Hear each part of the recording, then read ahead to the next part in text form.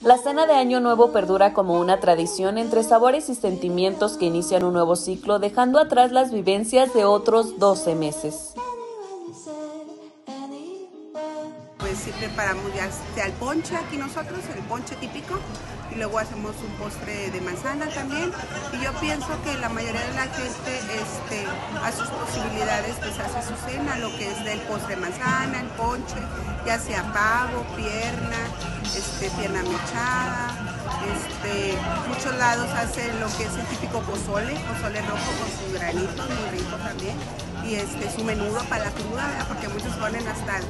porro y pues este, también hacen sus buñuelitos porque es típico los buñuelos. En Durango gran parte de las familias se reúnen desde temprano para preparar los platillos que degustarán más tarde, pero también hay varios lugares que ofrecen fiesta y cena en este día.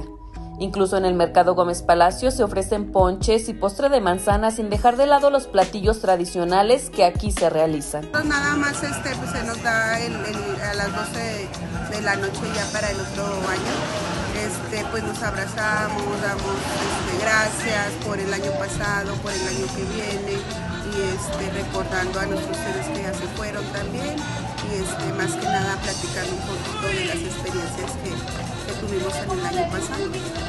todo lo bueno y todo lo bueno que vamos a tener para este año y todos los propósitos que a veces no se cumplen, pero tenemos una meta para seguir de vida también. Toda esta gastronomía cobra significado a la medianoche con el abrazo de Año Nuevo,